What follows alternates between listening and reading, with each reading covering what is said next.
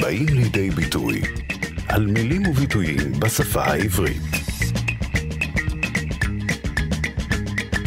באים לידי ביטוי. שלום לכם ושלום לתמר קציר מהאקדמיה ללשון העברית. שלום וברכה. אני זוהר סדן, והיום נדבר... ראה בבקשה, הבאתי לך כאן דף. אני אשמח אם תאמר לנו כיצד אתה הוגה את הביטוי הקצר שכתוב כאן. ותו לא. אכן מקובל בימינו, רוב הדוברים אומרים ותו לא, אבל המקפידים בלשונם יאמרו ותו לה. לה היא הצורה הארמית של מילת השלילה העברית לא. למשל, בתפילת כל נדרה אומרים על הנדרים בטלין ומבוטלין, לה שרירין ולה קיימין. כלומר, לא שרירים ולא קיימים.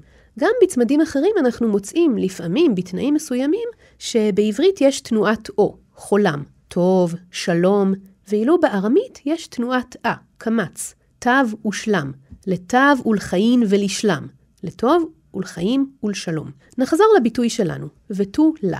לפעמים מילים ארמיות שיש בהן תו מקבילות למילים עבריות שיש בהן שין. כך למשל המילה שלוש. שלוש היו תמיד אהבותיי, שלוש הן לא יותר. אהבתי שיר ישן וים כחול, אהבתי אותך מכל. בעברית שלוש, ובארמית תלת או תלתה. תו במקום שין. ושים לב שגם פגשנו כאן שוב תנועת או בעברית, שלוש, לעומת תנועת א בארמית, תלת.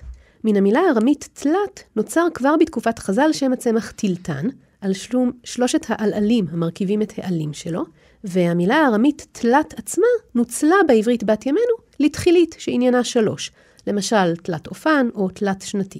גם בצירוף שאנחנו עוסקים בו היום, ותו לה, התו הארמית מקבילה לשין בעברית. בסדר, אז ותו לה, פירושו ושו לא. ברור, נכון? ברור לגמרי. ברור לא לחלוטין. יודע איך לא השתמשתי בזה עד היום, ושו לא. כן. כדי להשלים את החוליה האחרונה שחסרה לנו בהבנת הביטוי, כן. אזכיר ביטוי נוסף, לא בכדי. ולא בכדי בחרתי להזכיר אותו. לא בכדי פירושו לא לחינם, לא לשווא.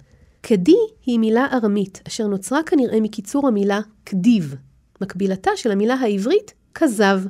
בתלמוד הבבלי במסכת כתובות נאמר, לה שדה איניש זוז בכדי. ובעברית, אין אדם זורק כסף לחינם. ופרש רב שריר הגאון, כדי לשון דבר ריק שאין בו טעם. לא בכדי פירושו אפוא דבר שלא נעשה סתם כך, בלי סיבה. אם כן, לא בכדי הוא קיצור מן לא בכדיו, לא בכזב. ובאותו האופן, ותו לה הוא קיצור מן וטוב לה. ובעברית, ושוב לא. כלומר, ולא עוד. כיום אנחנו משתמשים בביטוי הזה לציון הגבלה. הפגישה הייתה נחמדה ותו לה, או כמו שרווח יותר ותו לא. כלומר, נחמדה ולא מעבר לזה. אני מבקשת ממך לעשות רק את מה שאמרנו ותו לה. כלומר, ואל תוסיף שום דבר על דעתך. ויש גם גרסה ארוכה יותר של הביטוי, ה ותו לה. זאת, זה, כמו ה לחמה עניה, זה לחם העוני, ולא עוד. ה ותו לה. זאת ולא עוד. ובזאת, אני אומר לך שאת פה, ולא בכדי. ולא בכדי. ותו לא. ותו לה. ותו לה, נכון. אני הבנתי עכשיו לאורך הפינה מה הפינה הזו מעודדת. לימודי ארמית. פשוט לימודי ארמית. נראה לי, היו צריכים להכריז על השפה הזו כשפה שנייה. היא שפה אחות, היא שפה אחות של היא שפה העברית. אחות. אחות שנייה. בהחלט. אוקיי, בסדר גמור. תמר קציר, תודה רבה. תודה לך, ותו לה. באים לידי ביטוי בכאן רשת ב' בשיתוף האקדמיה ללשון עברית.